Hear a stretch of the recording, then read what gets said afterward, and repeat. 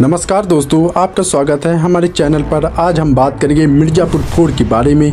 और अगर आप इस सीरीज़ के फ़ैन हैं और इस चौथे सीज़न के बेसब्री से इंतज़ार कर रहे हैं तो वीडियो को अंत तक ज़रूर देखें।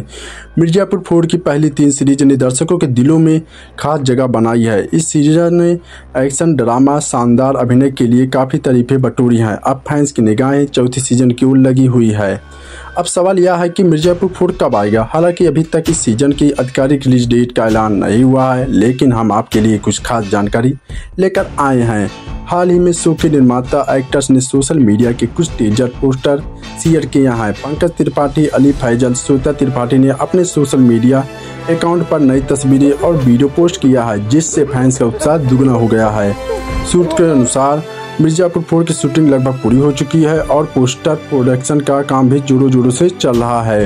यह उम्मीद की जा रही है कि इस साल के अंत तक, अगले साल की शुरुआती में यह सीज़न रिलीज़ हो सकता है। चौथे सीज़न में हम कलीन भैया, गुड्डू भैया और बैन जी जैसे पसंदीदा किरदारों की ओर रोमांचक और नए अंदाज में देखेंगे। सूत्र के यह अनुसार माने तो सीज़न फोर में कुछ सरप्राइज़ भी हो सकते हैं जो कि दर्शकों को चौंका देंगे। इसके साथ ही यह खबर के नए किरदार और दिलचस्प सब प्लेटफॉर्म को जोड़ा गया है, जिससे कहानी में और भी दिलचस्प हो जाएगा। दर्शकों को एक बार फिर से कहानी की जटिलताओं को और गहराइयों को सामना करना पड़ेगा। फैंस की उम्मीद काफ़ी ऊँची है और सोशल मीडिया पर अपने विचारों के थ्योरी को शेयर कर रहे हैं। मिर्ज़ापुर फोर के रिलीज़ के बाद चर्चा भाग लेने के लिए आप भी हमारे चैनल को सब्सक्राइब कर सकते हैं और बेल आइकन को दबाना ना भूलें।